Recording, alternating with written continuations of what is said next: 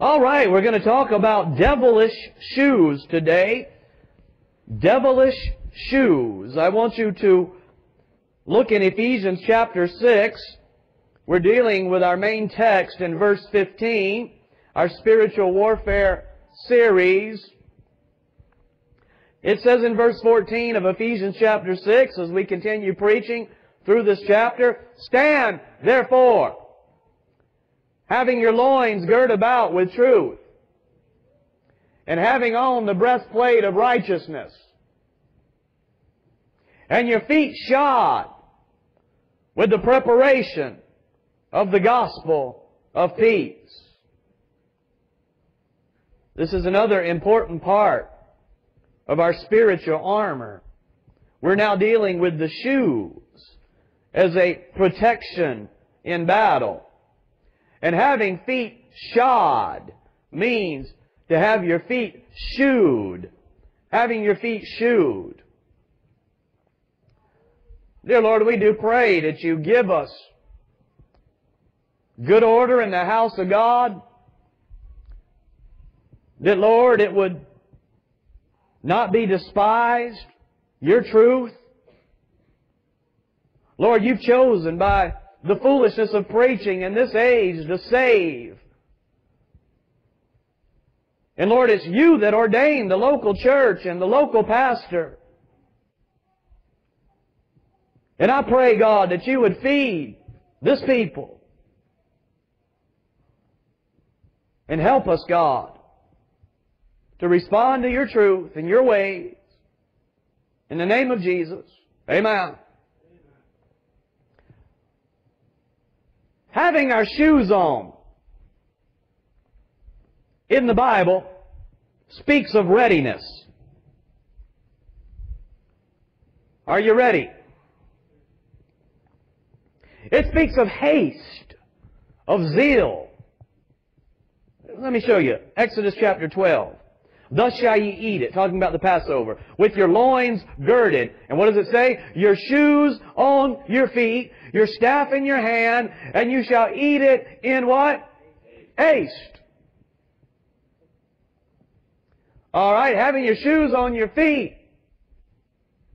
It's associated with haste, readiness, preparation. We will speak more, God willing, about the gospel of peace in the future. But in short, the gospel of peace is the message of peace with God through Jesus. But wait a second. If it's a message, a proclamation of peace, an offer of peace through Jesus, this implies war. Have you ever thought about that? It implies a quarrel. Listen to me. It implies that God has been angry with you. It implies that there is a problem with God. Not because of any sin in God, but because of sin in you. And the message of peace is that the Lord will accept you now through Jesus. But you have to understand the bad news to appreciate the good news. Isn't that right? Nowadays, you go and give the gospel of peace to folks and they say, well, of course, I've always been at peace with God. Well, something's missing, isn't it? Something's missing. You have the Old Testament before you have the New Testament. All of those types and pictures, the law, to show you that you need what? Wake up, amen. What do you need? You need a Savior, do you not? Amen. So being diligent and zealous and willing to give this gospel of peace to mankind, it's a crucial part of your armor. Do you know that when you become a active, continual, habitual soul winner, it becomes a protection for you in your Christian life. You begin to grow and you begin to mature and you begin to be protected from the devil in ways you would not be if you were not active in soul winning to whatever degree you can. When we're occupied about the king's business, you're not going to have time for the devil's business. And there are many ways that soul winning protects us, it keeps us, it shields us. The way shoes protect the feet and keep the soldier standing. What I want to show you today, and I want you to remember, the Lord said go out quickly, and we'll talk about that in the future. The Lord said go out quickly. He wants some zeal about soul winning. He doesn't want somebody to have to pry you up off the pew or off the bed to get you winning soul. The Lord said go out quickly. The Bible says in 1 Samuel 21 8, the king's business requires haste. And I tell you what, we got the King of Kings, and He has some business, and He has not been shot. He has been very clear explaining what His business is. He says, I come to seek the law. I come, and as, the, as my Father has sent me, so I send you. Go ye out into the world. The Bible wants you to win souls. He that winneth souls is wise. The Lord wants you to have a zeal about this thing. But when you're slothful, you dishonor the Lord. When you make excuses, you dishonor the Lord. And the devil knows all of this. And he does everything he can to get your feet off track. One way the devil keeps you from being a motivated soul winner is to get you to put on fancy shoes instead of your war shoes. Now I want you to realize that Satan comes as a serpent. He's called the serpent. He's called that old serpent in the Bible. He appeared in the form of a serpent in Genesis. And uh, I want you to see that God put that serpent on his belly. So I have a question for you today. What in the world does the devil know about shoes? Have you thought about that? Do you think a serpent knows anything about shoes? God got rid of his legs. He doesn't have any feet. I don't believe the devil knows much about shoes. He knows enough to mess your feet up. He knows enough to give you some type of shoes where you get over here wearing them and you're all proud of your fancy shoes and you feel nice and secure and he goes over and just barely pushes you and you fall over. That's why the devil wants to change your shoes.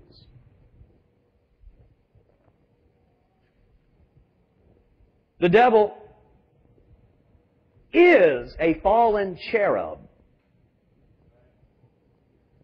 And I want to tell you today, the devil has hoofs. Let me show you. And again, whether you look at the devil as a serpent or look at the devil as a fallen cherub, my question to you today is what does the devil know about shoes? What does the devil know about shoes? Ezekiel 28, talking about Lucifer, says, Thou art the anointed cherub that covereth. So what is Lucifer? What is the devil? A cherub. Thou was perfect in thy ways from the day that thou was created till iniquity was found in thee. So he's a cherub that rebelled against God. But let me show you.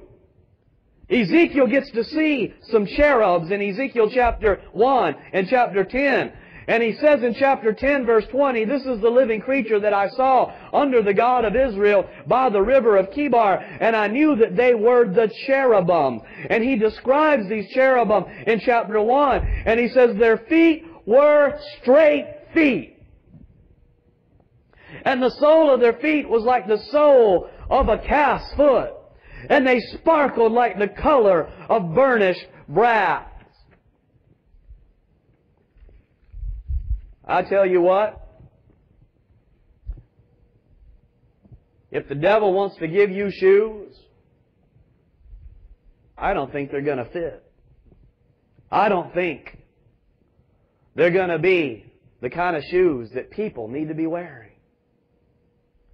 Maybe they're good for a cow. Maybe they're good for some ox. But they're not people shoes. Now I believe they just might be fancy shoes. They sparkled like the color of burnished brass. I don't know. They just might be fashionable shoes. But one thing we know about the devil if God says put your shoes on, the shoes that I want to give you that are part of your armor, if God says I have shoes for you and it is the armor of God and I want you to put on my shoes that I have for you that'll protect you from the devil, then I know good and well when the devil gives you his shoes, the imitation counterfeit shoes that he wants you to wear, I know one thing that when the battle begins and you get out there in your fancy shoes, you're going to fall down. You're not going to be able to jump out of his way. You're not going to be able to remain standing. And he's going to laugh and he's going to get the victory. The whole goal here is to stand and fight to resist the devil that he may flee. Now, if the shoes represent your zeal and your haste and your willingness and your readiness to go soul winning, then I know what the devil's going to do. He's going to hinder you from going soul winning. And God says, I have a protection for you. It's called soul winning. And the devil's going to say, oh, but I have something else you can do as a Christian. And I have a totally different design for your shoes. The foundation of your Christian life.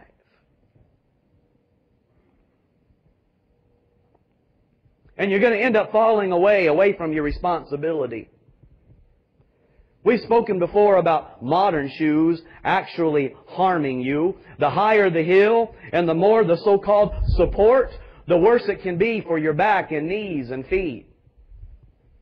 And what I want to tell you today is that license Licensed experts in various fields are destroying this world today.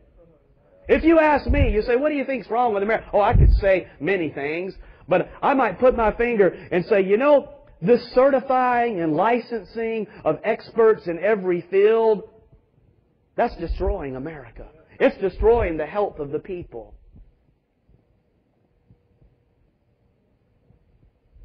The Bible says, hath not God made foolish the wisdom of this world? Which means when you get a bunch of worldly experts together, I tell you what, as they sit there and gloat in their pride, the Bible says they're really embracing foolishness.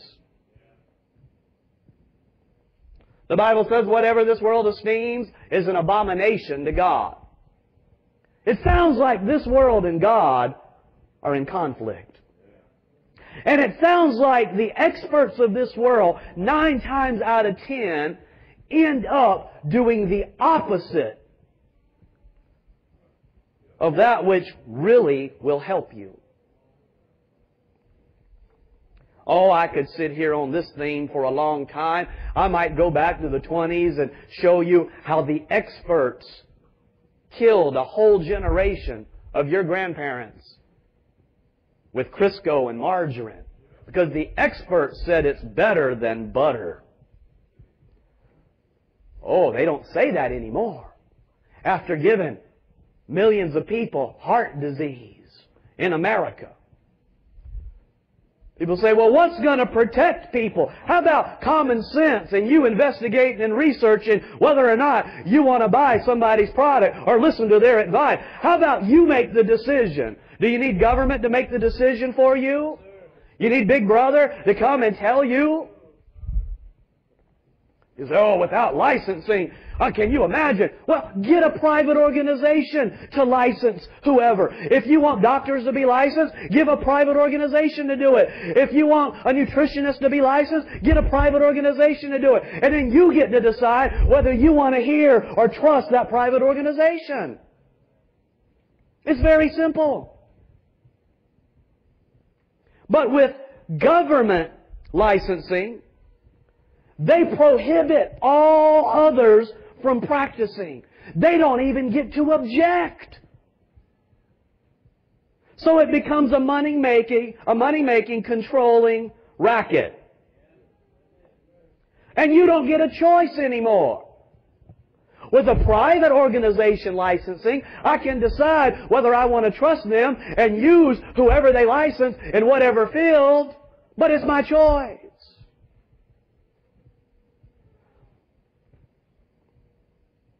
But the real key to this thing is the Bible says the love of money is the root of all evil. And I think people dying and being hurt and harmed is evil. So money is behind this thing, the love of money. You have to follow the money. In everything, you have to follow the money. In everything, you have to ask the question, what industry would be hurt if this truth came out? Or if this view became mainstream? How much money is made off of the current mainstream view that is marketed? The current mainstream view. Oh, they will allow a little bit of objection, but no real objection. It's controlled. Now apply this to shoes. Certainly there are bigger things that this whole racket is in control of. But nevertheless, let's just start right down at the bottom. Let's start with your shoe.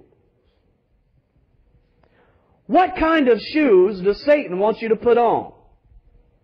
Well, if you're supposed, listen to me. If you're supposed to be fighting and resisting, then obviously he wants you to put on some wobbly shoes, some unstable shoes, some type of bulky shoe where he can walk over and you feel like you're so secure and all of a sudden he can just throw a dart, poke at you a few times, and you're unstable and you're falling.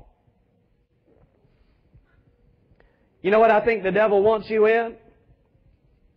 I believe the devil wants you in pretty boy, positive preacher platform shoes. In the 1970s, young men started walking around in high heels. They called themselves rockers.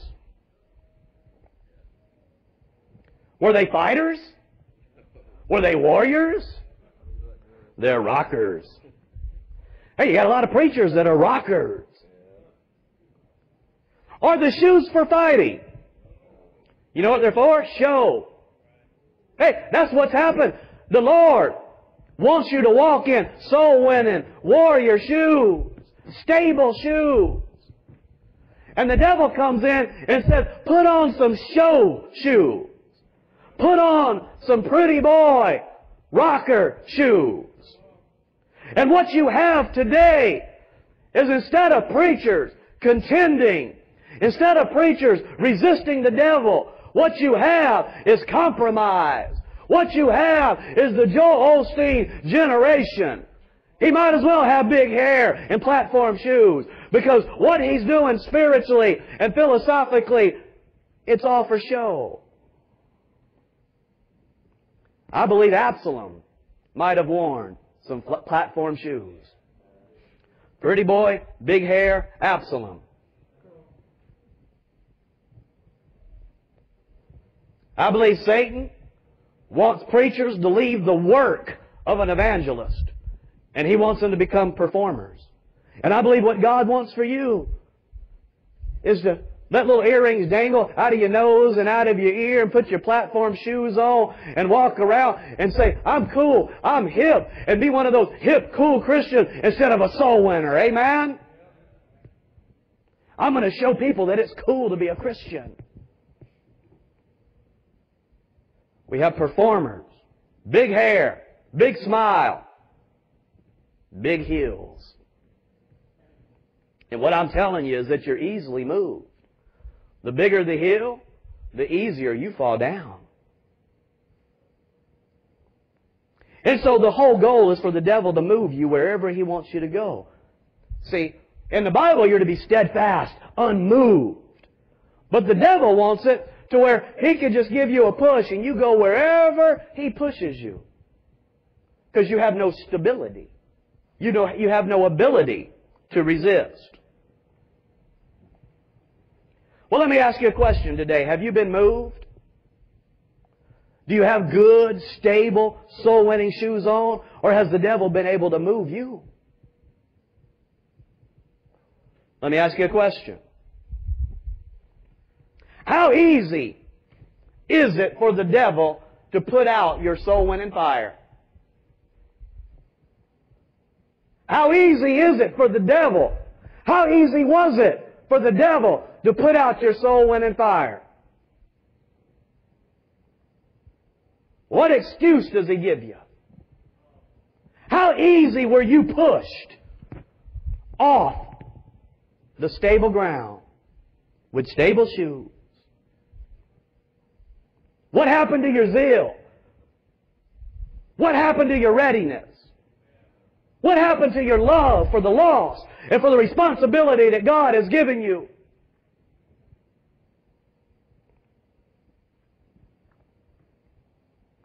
And I'm telling you, if the devil has put out your soul winning fire, you're unprotected. You're unprotected. You're a sitting duck. It's only a matter of time until you begin to look and maybe one day you'll see how far you did drift. If your soul winning fire is not engaged, if it's not burning, I'm telling you, if you don't have on the stable shoes of a soul winner, I'm telling you today, you're drifting and you don't even know it. You're drifting and you don't even see how your heart's changing. You think you're in control.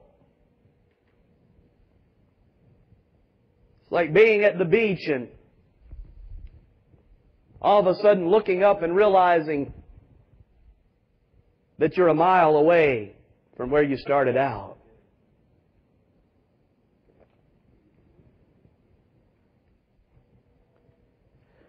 Over and over again, we keep seeing the same thing. Over and over again, there's something that I believe is amazing. Listen to me. At the same time that preachers and churches are spiritually naked, and the Lord warns in the last days, keep your garments, lest your nakedness be seen. At the same time that preachers and churches are spiritually naked, think about this, Church of God. Is it not ironic that they are also literally naked. At the same time that they are rich and in need of nothing and do not realize that they are spiritually naked. They're literally naked. Something's going on here. You have the spiritual and then you have the physical following the spiritual to give you a perfect example of what's happening spiritually. They're both true.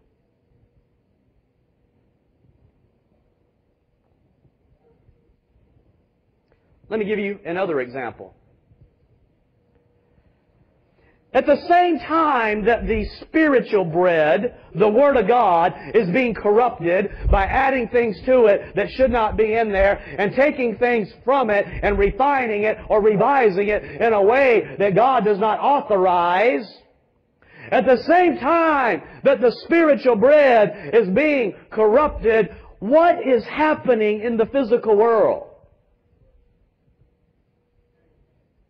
What in the world are people eating? They're eating light, fluffy, white bread that says it's been enriched with a whole bunch of man-made vitamins. Why has it been enriched with a whole bunch of man-made drugs? I tell you why. Because they took out the good part of the bread.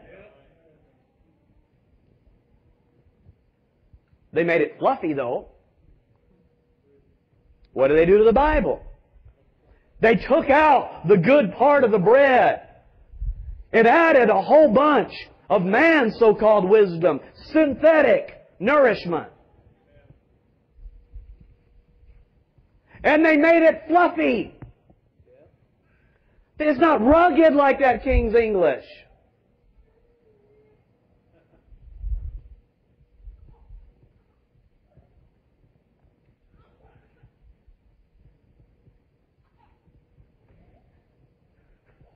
Over and over again, we see the same thing.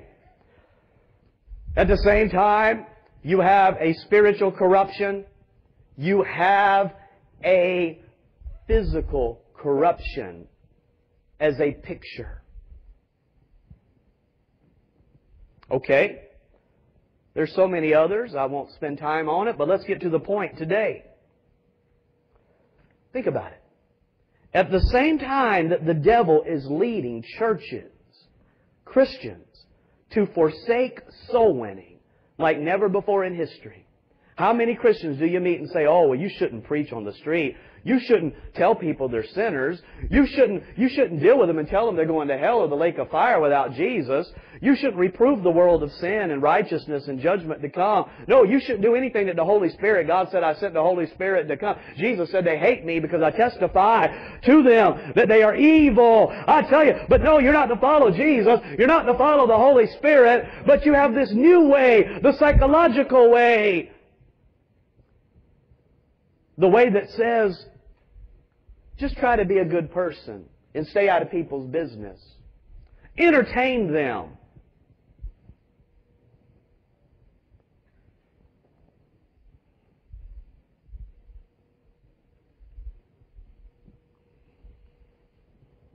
At the same time that the devil is leading the majority of churches in America to forsake soul winning, to have no zeal about souls, to become lukewarm, to have no boldness, no zeal, no willingness.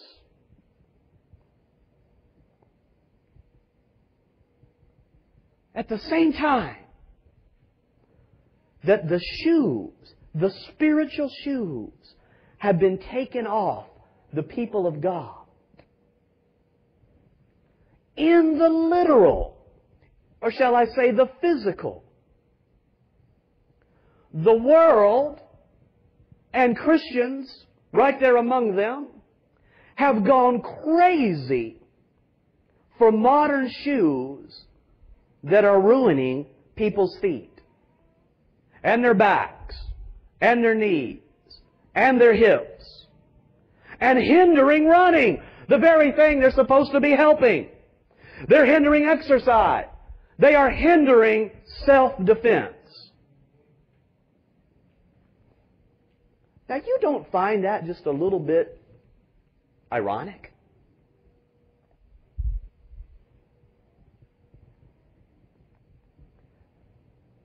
The last statement I made certainly needs some backing. So let me take a little while to show you what the devil has done in the natural. And we'll then conclude with how he has done the same thing in the spiritual.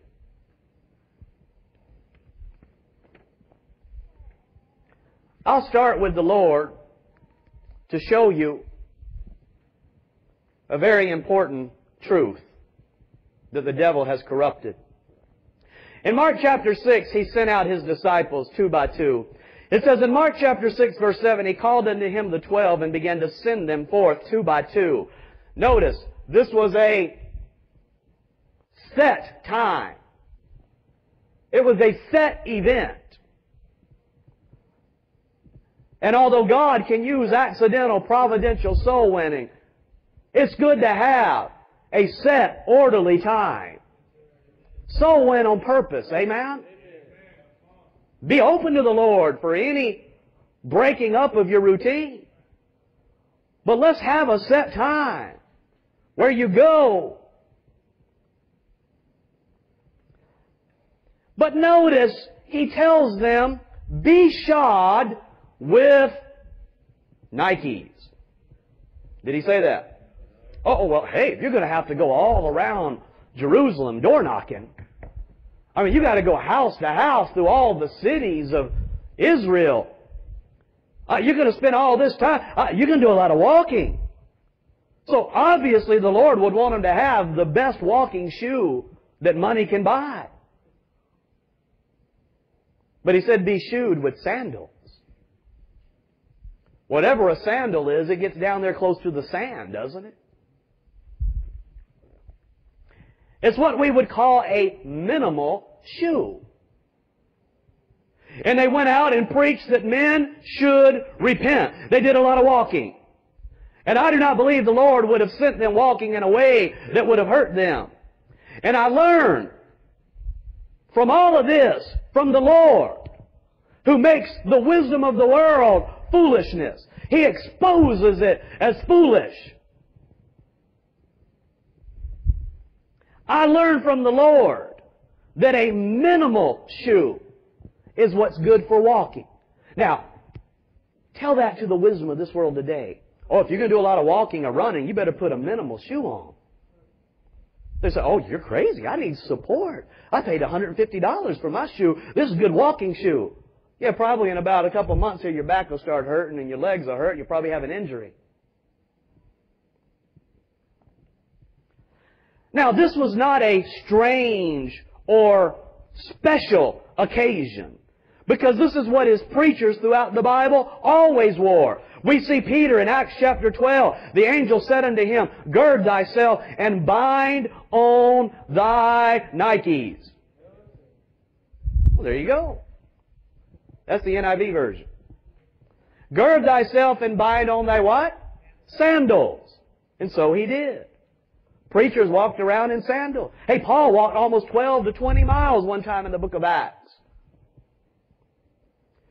Now, the ancient sandals were not always open-toed, if you look at some of the illustrations and pictures of them.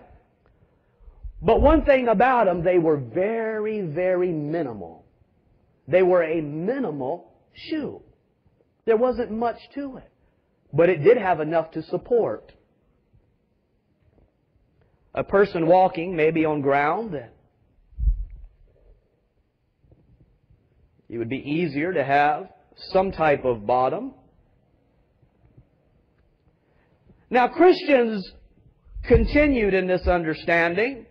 Let me read to you from Clement of Alexandria in AD 195.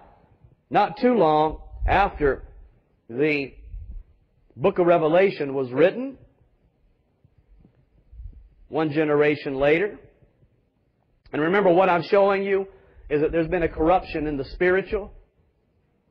I'm showing you that the same time the churches are spiritually naked, they're literally naked. The same time the Word of God, the bread of life, is being refined and corrupted, your literal bread in the store is being corrupted. And in the same way, the same time that the churches of America and of the world are taking off their soul winning shoes,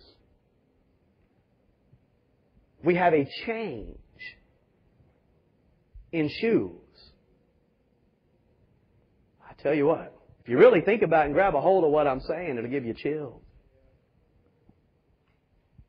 Clement of Alexandria in AD 195, he says, more than that, they emasculate plain food, namely bread, by straining off the nourishing part of the grain. He's upset that they're refining bread in such an idiotic way that the nourishing part is not even eaten by people. It sounds like the modern American diet. With your white pasta and white rice and white bread that's been chemically bleached and all the other things. He goes on to say in the instructor in book 2, women, they ought for the most part to wear shoes, for it is not suitable for the woman's foot to be shown naked. But for a man, bare feet are quite in keeping except when he is on military service. What is the context that we're reading about in Ephesians chapter 6? Warfare. A military man. Somebody with a shield and a helmet and a sword. That's why he got shoes on. To go with bare feet is most suitable for exercise and best adapted to health and ease. Well, that goes against your 20th century modern expert researcher. This man must be an idiot, right? I, I mean, what type of idiot would tell you? I mean, you have to have lots of protection for your foot. You can't have your foot all mashing around and conforming to the ground. I mean, you got to protect that poor precious foot. But Clement says it's most suitable for exercise and best adapted to health and ease. But if we cannot endure bare feet, we may use a type of slipper or dusty foot, named on account of their bringing the feet near the dust. He talks about the understanding of the time of women not exposing their feet. Of course, Jeremiah 13 talks about the nakedness of a woman's foot. Clement goes on to call women, and I thought it was interesting, he goes on to call women to a natural beauty in all areas. Isn't that sweet? He says moderation in diet and healthy living is the true way to natural beauty. His words are beauty according to nature. I think that's the best beauty. I think how God designed something is the best beauty. But the question we want to ask today is, who is right when it comes to walking shoes? The Lord, who sent them out walking in sandals? And the Christians, like Clement, that said, whatever you do for exercise and a lot of activity, don't use much of a shoe. Who's right, the Lord and the Christians or Nike? Hey, God says butter is good and it'll bless you. Butter and honey shall he eat. But man said margarine and Crisco. God said olive oil, but man said Crisco. Why would you want to use Crisco? Oh, it protects your heart. Hey, they cut people open. You know what they find out in their heart? Vegetable oil. That ain't God's butter. That ain't God's olive oil. I'm asking you now. People follow the experts. Hey, it was the experts that said, don't spank your children. Dr. Spock. It's a transition they're going through when they're young. Let them go ahead and have that tantrum. They'll be so blessed when they get older.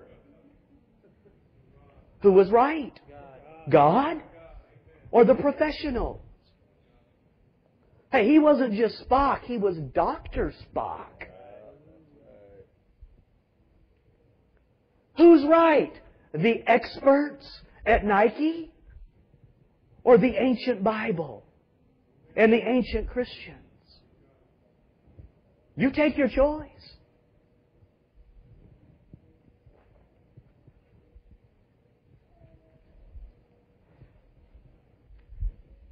You know, God says He hates Nike. Notice He says in Revelation chapter 2, verse 15, So has thou also them that hold the doctrine of the Nicolaitans, which thing I hate. Nike is the winged god of victory, the false god of victory.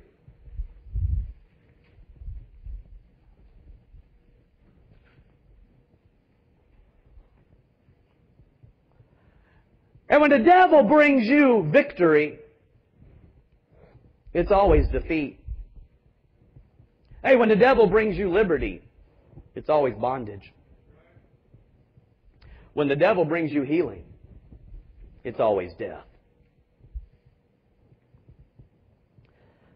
Now, what does this mean? Nico, Nike, the wing god of victory? Nico, Laotin, laity, people, common people.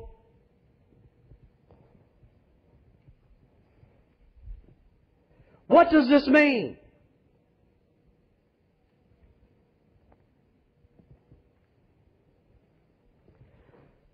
Victory over the people. Nicolaitanism. Domination. Control over the people. Jesus says, I hate it.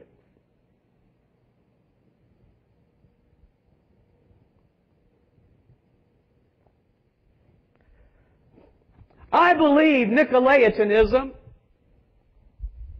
if you take the word for what it says, is the domination of the people by licensed so-called experts that cannot be questioned. Nicolaitanism. Truth is whatever they say it is. And you have no right to even object or hear a second opinion. And guess what? They don't have to prove it.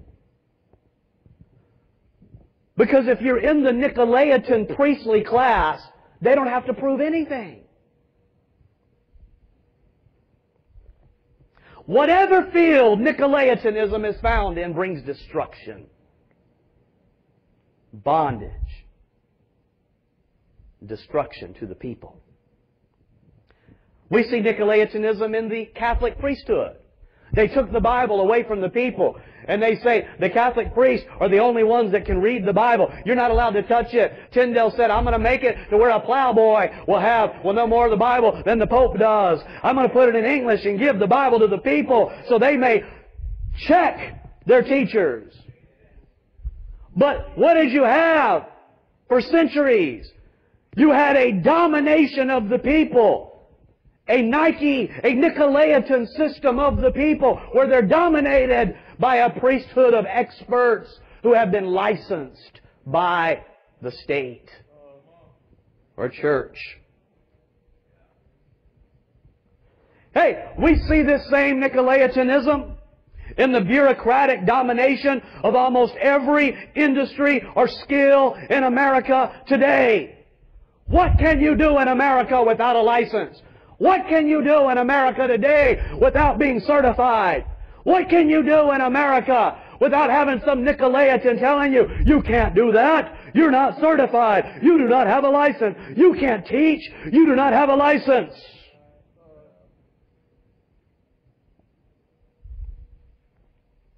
And if people that are licensed say, I hate this system, and they begin to disagree, and they say, our system is hurting people, they are punished. They are silenced. They lose everything.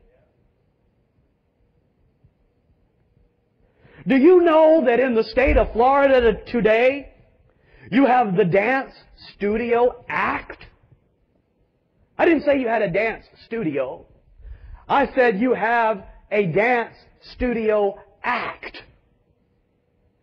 What is a Dance Studio Act? It is legislation. It is a law.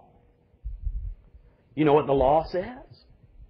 You can't teach ballroom dancing in Florida without a license. You must be certified. Now, I don't recommend you go learn ballroom dancing. And I hope you don't teach it. However, is it not absolutely insane that somebody can't set up shop and teach ballroom dancing without a license. Nicolaitanism. Hey, they're looking out from you. God forbid you take lessons and learn ballroom dancing from somebody not licensed. You might learn a wrong step. End up with a boogie woogie when you thought you were doing ballroom dancing. They have to protect you. They're always looking out for you, folks. Hey, they'll save you from the quack doctors who may heal you with natural, wholesome medicines. Oh, don't worry. They'll protect you. They'll protect you from quack dance teachers. They'll protect you from quack doctors. Oh, their licensing will protect you from anything and everything. Oh, by the way, there are licensed foot doctors. And they work to make sure that you now have the best modern running and walking shoes.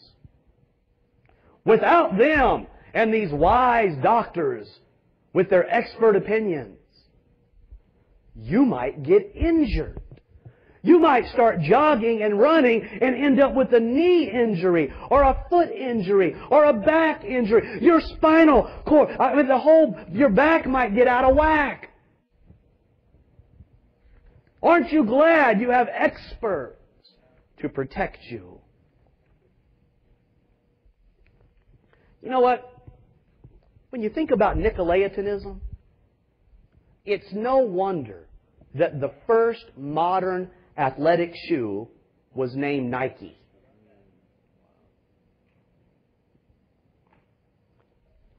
Dr. Daniel Lieberman, professor of biological anthropology at Harvard University, says until 1972, when the modern athletic shoe was invented, the Nike, people ran in very thin-soled shoes and had very strong feet and had much lower incidence of injuries. Did you just read that? See, this is one of the expert crowd coming out from the pack. But you get in trouble when you do that, see. What does he say? He basically says that before 1972, people did what Jesus recommended. They had very minimal shoe and they didn't have many injuries. And they had strong feet. Because they said if you watch this thing on video, your feet, I mean, that thing just conforms to the ground. It takes, it's designed to take lots of punishment. I tell you what, it's designed to be in touch with that ground. And it gets strong. Oh, but somebody's going to protect you. Let me read you. I'll paraphrase in some places, but there's an article that says our running shoes a waste of money. A $20 billion running shoe industry wants us to believe that the latest technologies will cushion every stride. But injuries for runners are on the rise. And everything we've been told about running shoes is wrong. For example, you might notice the Tarahumara tribe in Mexico, where you have the best long distance runners in the world, and they are virtually barefoot with a minimal shoe. You will see them running 300 miles at 57 years old. And you will see them winning every single race and contest. And they don't get hurt. They're not hurt. They're not injured.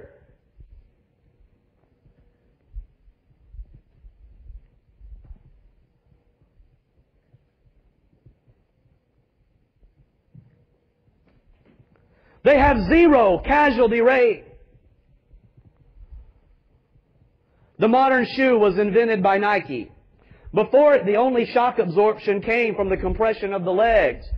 You don't want to run on your heel, so you have to run on the balls of your feet. And you do just like these uh, Mexican tribe does. You, you allow your leg to compress as it hits the ground. Who wants to demonstrate it? Nobody. All right.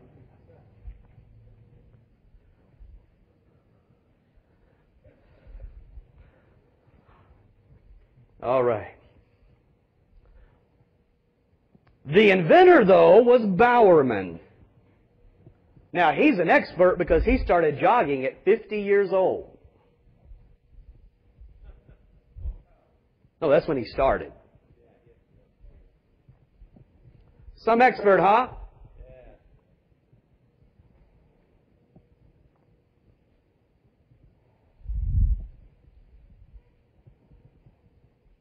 So Bowerman, the inventor of the Nike athletic shoe that was invented until 19, in 1972, started jogging at 50 years old, and he came up with the idea of putting huge chunks of rubber under your heel.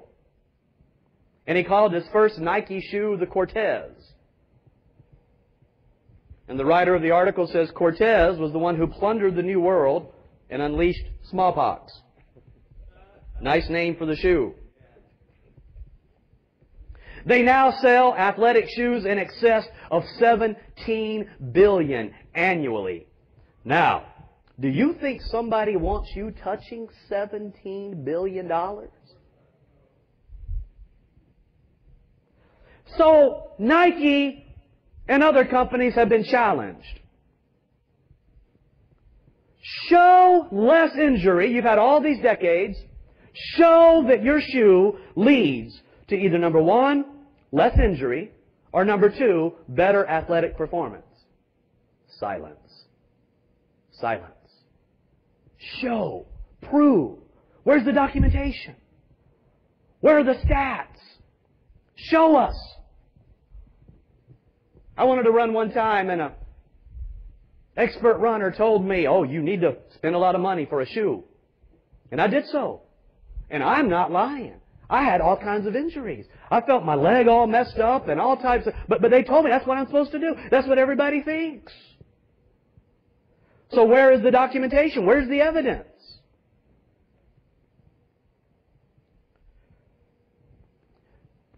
Runners wearing expensive athletic shoes are 123% more likely to get injured than with cheaper ones. That's from a 1989 study by Dr. Bernard Marti in Switzerland. It was confirmed again in 1991 in Medicine, Science, and Sports Exercise. If it doesn't keep you from injury and it doesn't improve athletic performance, what do people pay all the money for?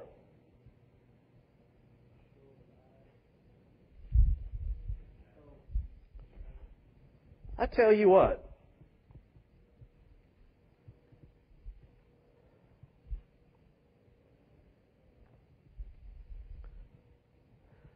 They found out that the more the injury, I'm sorry, the more the price, the greater the pain and injury.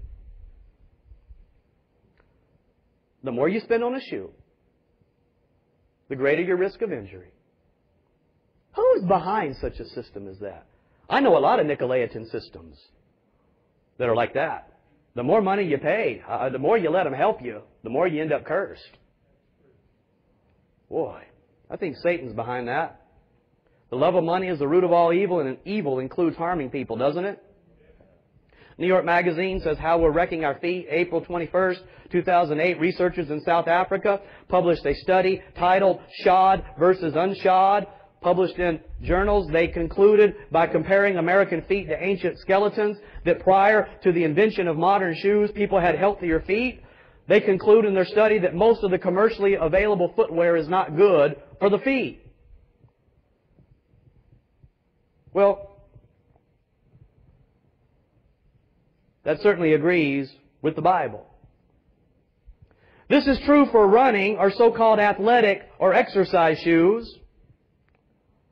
But what about for fighting? Certainly for fighting. I mean, our chapter in Ephesians chapter 6 is about sword fighting, is it not? So obviously then, you need a big modern combat boot if you're going to fight. We're not talking about running anymore. We're talking about sword fighting.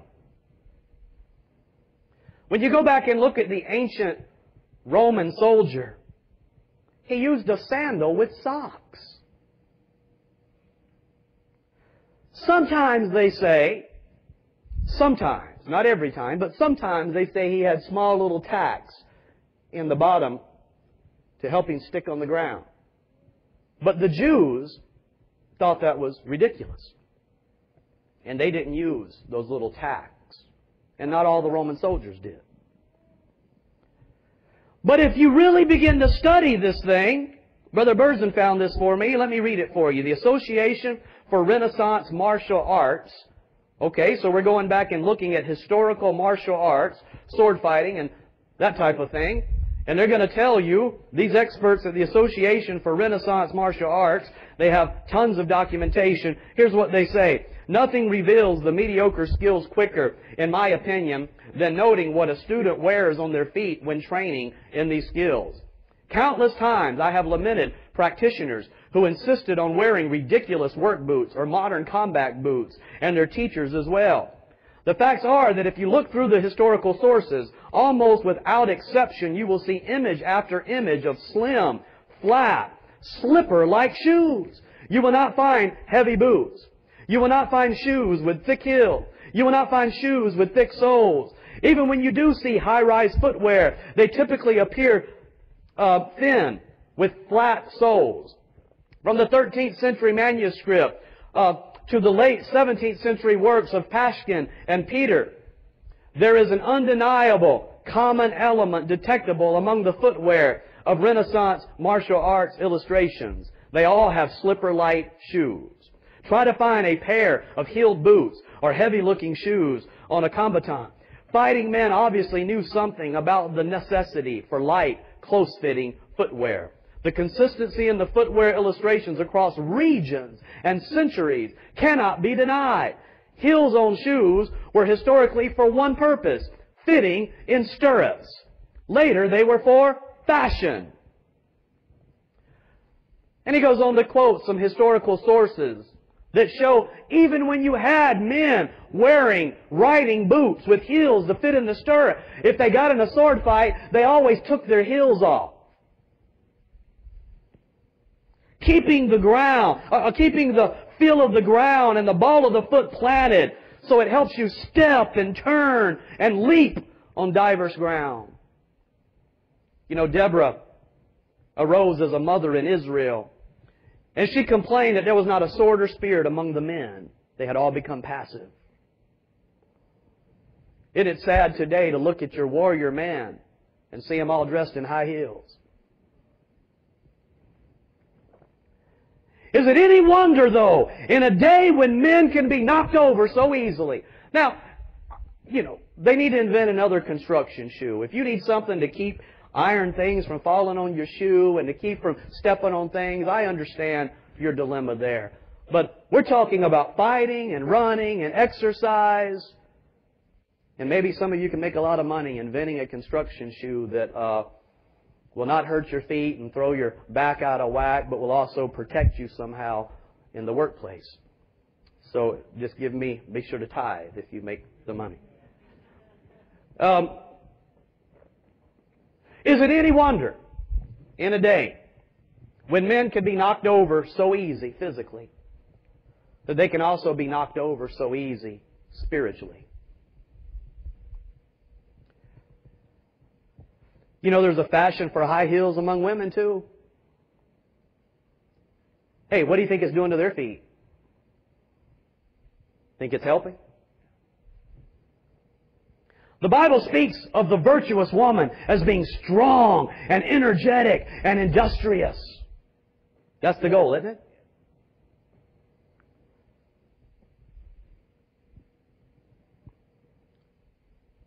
Certainly, it is God's goal that Christian women walk in their full physical potential, whatever that is. There'll be afflictions, there'll be problems, sicknesses. But the point here is to walk in your fullest potential, physically. I thought about this Friday night as it was raining, and some of the brethren wanted to go soul winning in the rain, and I praise God for them. So as we were soul winning in the rain, I saw this young lady walking down the road in high heels. And she would take two steps. I'm not going to show you. Brother Lando, will you show how she was walking?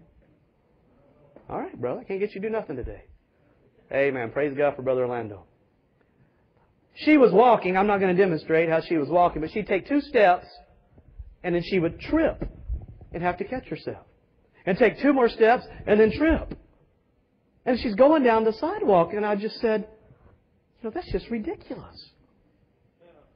I mean, to get out here trying to walk down the side, you're about to break your neck. Satan did that. Satan did that. God didn't do that. Satan did that.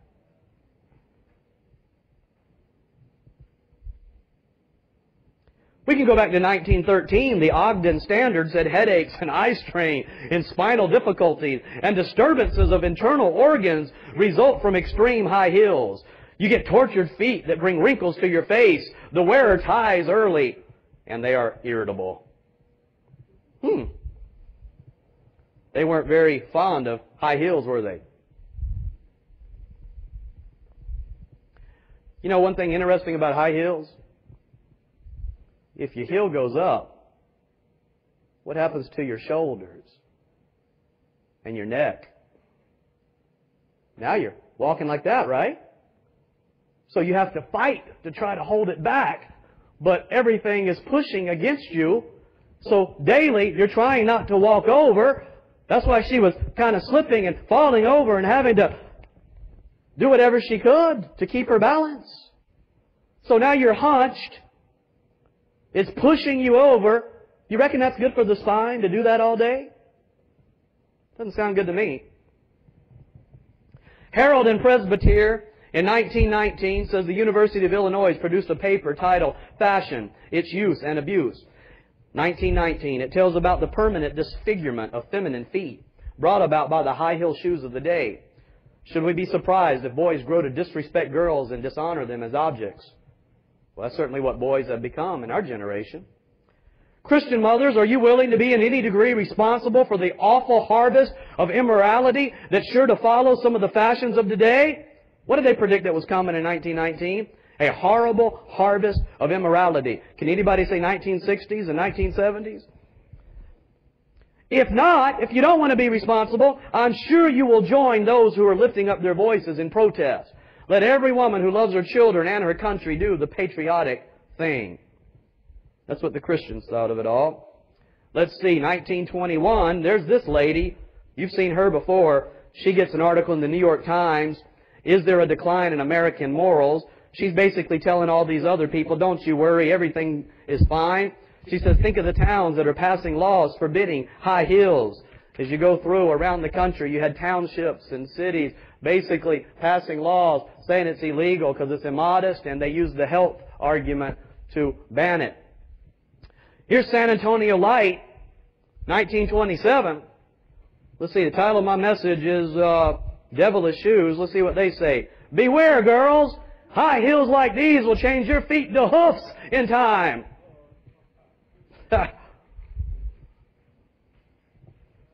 Talk about devilish feet.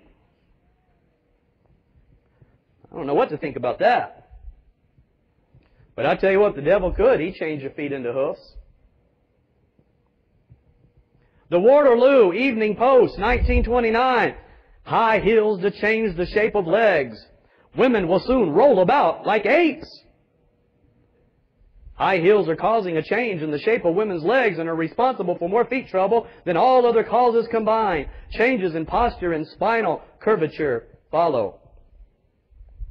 Wow. Change it into hoofs and change your leg into where you don't have one no more hardly. Boy, if they're even half right, that's, that's dreadful, isn't it?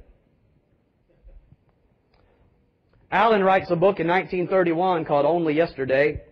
He said the YWCA conducted a national campaign against immodest dress among high school girls, supplying newspapers with headlines such as High Heels Losing Ground, even in France. Oakland Tribune in 1950 says researchers have discovered that high heels disturb balance, hence hasten foot fatigue. Oakland, Oakland Tribune of 1962 High heels are like drinking and smoking are bad for the health. American women, though, are firmly convinced that high heels make them attractive. The same high heels that make them foot cripples, with their feet halfway between a tourniquet and a vice. One lady that has a column for ladies in the Capital Times in 1964, Mary Brandell Hopkins, says the lewdness of pill, the lewdness appeal of deep diving necklines, bare backs, figure cuddling, uh, cuddling dress silhouettes, sheer hosiery is the subject of a lot of printer's ink. The shorter, more what? Mincing steps. Remember that word. The shorter, more mincing steps a woman must take in a high heel shoe tend to create an impression on men and has a hypnotic effect on the male eye. Dating back 3,000 years, higher heels have always been worn solely for lewd appeal. The peekaboo look at the toes or heel is motivated by the same reason as slits in the dresses or skirts. In the opinion of Don Loper, the top Hollywood designer today, nothing is so attractive to a man as a well-turned female heel. This is exhaustingly confirmed by historians and researchers. Many times in history, exposure of the feet has been censored by official decree. To show naked toes, heel art has been condemned as obscene. It is only now that Americans are discovering what the rest of the world recognized for thousands of years.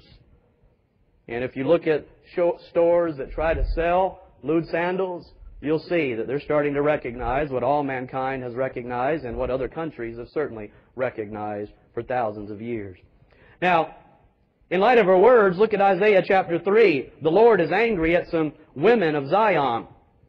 He says, The Lord saith, because the daughters of Zion are haughty, now don't miss this, walk with stretched forth necks.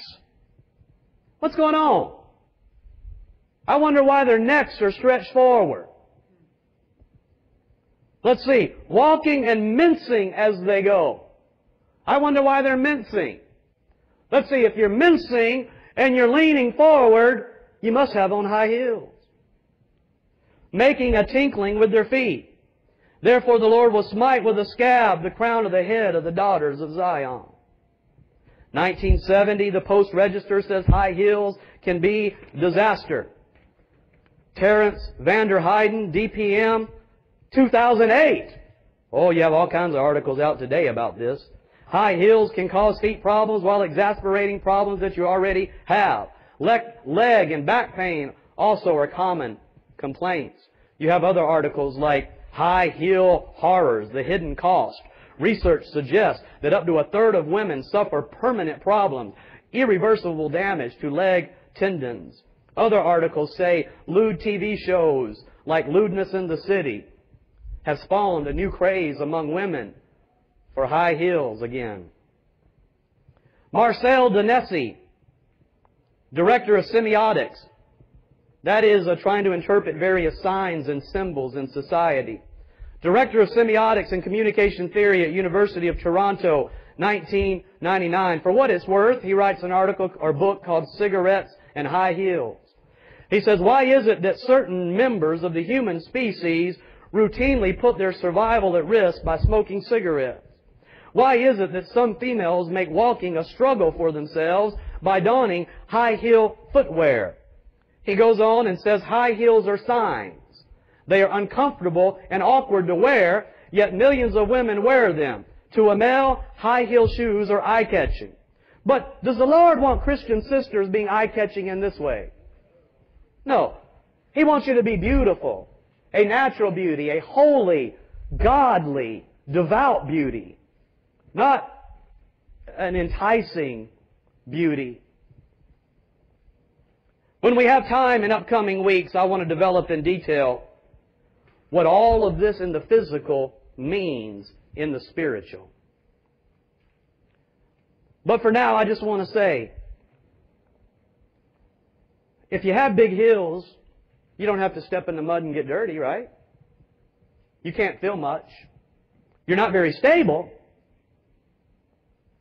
It sounds like what that represents spiritually are Christians deciding to be men pleasers. Never getting out in the road where the Lord told them to get. In the marketplace where Paul daily debated with people. They never give the people any strong medicine. They're crowd pleasers. They don't want to rock any boats. They don't want to make anybody mad. And they're compromising the gospel. They're quiet. The old ways used to be, you come up to church, you get together, you pray, you go soul winning, you get out here, and you get out and street preach. That used to be how people did it in older days. But what do they do today? Do they have on the shoes, the soul winning shoes? No. They have high platform show shoes. You can't walk very good in them, but they're not meant for walking. They're meant for getting up here and putting on a show. Instead of soul winning, what have churches become today? Entertainment. Have they not? Instead of soul winning churches with people active in evangelism, you have them active in everything else but. The same time that the shoes have been changed in the physical, they've been changed in the spiritual. Do you see it? Is the average church in America a street preaching, soul winning, door knocking, preaching against the abortion clinic? Hey, we need to expand. We need to get even more involved in these things. Amen? I tell you what, they, they say that these things are the life of a church. I know Jesus is the life, but Jesus tells us what to do. And He tells us to put our shoes on, right? And the Bible says that these shoes will be protection in your spiritual warfare. They keep you from thinking so much about yourself and getting so consumed with poor me and your self-pity and your own problem and, and, getting introspective. It gets you involved in the bigger picture of the Lord's business, the King's business, and it keeps you active. Nothing brings you closer to a man of God than getting out on the street and being persecuted with him. I tell you what, bearing the shame It brings revival to have people slam the door in your face. I see kids light up and start getting revival. I see them start praying for the first time. Why, why are you praying now? Why are you on fire for God? You got doors slammed in your face for Jesus. I tell you what, you bear that shame and the Lord comes and fellowships with you. But a lot of people don't want to bear the shame. They don't want to put on those shoes. And the churches of America and the preachers of America, they got big hair and big shoes, but they're not preachers anymore. They're not soul winners anymore. Spurgeon said, A man that hadn't preached outdoors is not worth his salt. I'm paraphrasing a little bit.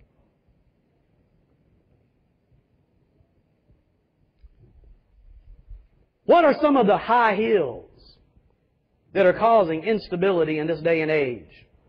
What are some of the shoes the devil gives people to keep them from soul winning? What about this one? I witness by my lifestyle only. That's not, that's not God's shoe. Oh no, I, am not one of these fanatic, born again Bible thumpers. I witness by my lifestyle.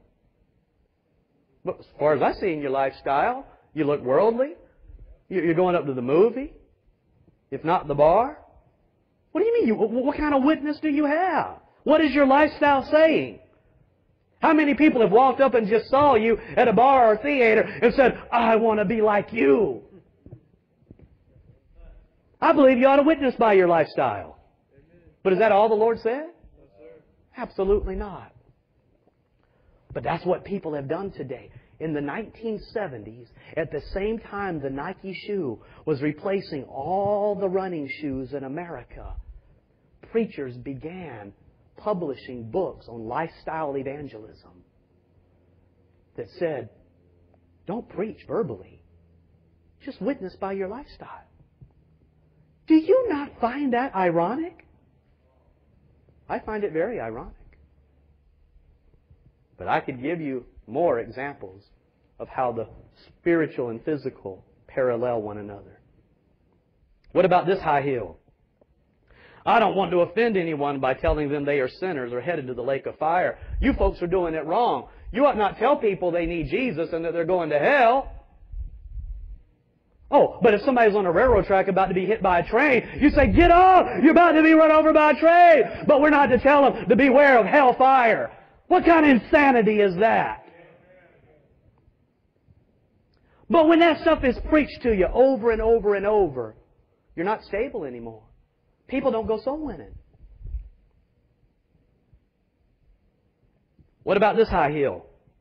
I'm not good at soul winning. I don't really like it. That's what Moses said. God said, Who made your tongue? Who made man's mouth? Oh, Jeremiah says, I'm too young. You got to call somebody else. It's our natural tendency to tell God no, find somebody else. But God said, Go. Go. Go. Witness. Witness everywhere you go. You know, it'll bring stability. It'll bring stability. I don't spend time at your job and when you should be working. I mean, but certainly there's a time when you can witness at your workplace. But be wise. Be wise and responsible. He's not paying you to witness, is he? What about this high hill? I don't want to be legalistic about it. I mean, I believe in soul winning, but you folks are legalistic about it, you know. Got a set time when you go, and I don't want to be legalistic. Well, that's destroyed more Christians. That's destroyed more Christians. What about this high hill? Oh, I used to do that. I've done enough of that for my Christian life. What about this high hill? Preaching should only be done in church building by preachers. Well, that'll make you unstable, won't it? That'll take away your soul winning fire, won't it? Hey, I'll give you one more. I want to be relevant. Evangelizing people is not relevant today. It's offensive and self-righteous, as if I have all the answers. I want to meet people where they are and be relevant to what they're going through today. These are the high heels that the devil gives preachers and Christians today that will put out your fire. Oh, there's many more. I could keep listening to them. But the whole point of all of it, I'll just sum it up. The devil wants you to be a fashionable Christian, a relevant Christian, a culturally accepted Christian, instead of an obedient, profitable, responsible, zealous, diligent, soul winning Christian. You understand? And it's all in the shoes, folks. Spiritual shoes. I pray all of us get our soul winning shoes on. Amen? Take your fancy Nikes off. I mean, I'm not going to jump all over. You want to go out here running Nikes? Have at it. But you better put your spiritual shoes on. Amen? And let's definitely get off these immodest shoes that are hurting you. I, I believe it's good to be wise. And I believe the Lord wants us to be wise. And He certainly doesn't want you immodest. So Sister Lynn comes and sings for us today. Let's ask the Lord to renew our zeal. If you say, I'm already lit, let's ask Him to keep us lit. Amen? And I think we could all use a little more soul winning zeal. I think it'll wake up this church and bless us in ways that you have not imagined. I'll say one more thing, then I'll hush. I think that the secret to peace and joy and fellowship, I think it's found right here. Why don't you try it? God says, taste and see.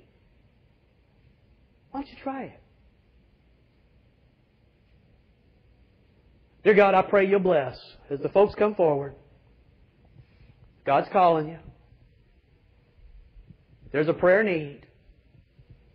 God's spoken to you today. Why don't you come? Why don't you come pray? Why don't you ask God for some fire? Dear God, I do pray that you'd let your fire Oh, not your fire of judgment, Lord. Let your fire of boldness and power fall upon us, God. Wherever we're at and whatever we can do, Lord, and let us be honest about what we can do, Lord, with you and your power. Use us, God, to pray for souls and to preach and speak and witness and evangelize To get the shoes back on, Lord. And to get off the devil's fancy shoes in the name of Jesus. Take up thy cross and follow me. I heard my master say. Oh, let's get out there. Come on. I gave my life to ransom thee. Surrender your all today. Yes, indeed. Surrender. Wherever He leads, I'll go. What about you? Wherever He leads, I'll go. Can you even hear His voice? I'll follow my Christ who loves me so. Wherever He leads, I'll go. It may be shadows dim or o'er the stormy sea. I take the cross and follow him wherever he leadeth me. Oh, yes. Amen. Wherever he leads, I'll go. Wherever